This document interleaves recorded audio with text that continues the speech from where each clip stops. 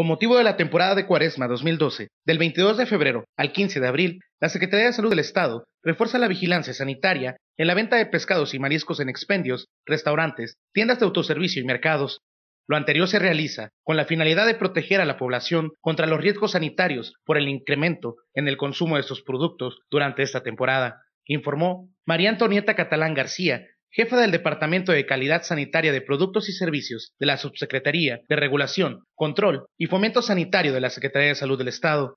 Informó que durante la cuaresma el consumo de pescados y mariscos se incrementa por cuestiones culturales y religiosas, por lo tanto, se presenta un mayor riesgo de intoxicaciones alimentarias, ya que por sus características, los productos de la pesca pueden ser medio de transmisión de microorganismos patógenos. Que debemos oler tocar el producto. Entonces vemos, por ejemplo, un pescado que tiene que tener las agallas rojas, la piel brillante.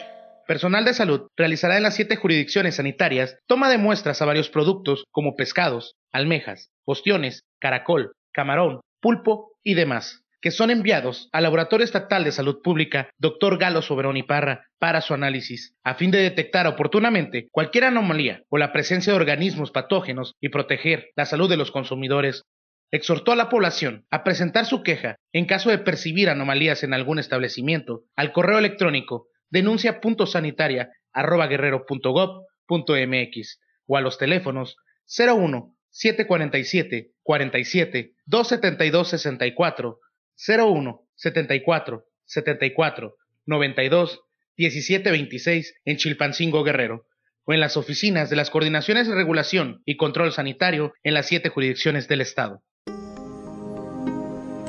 Gobierno de Guerrero, Secretaría de Salud. Guerrero cumple.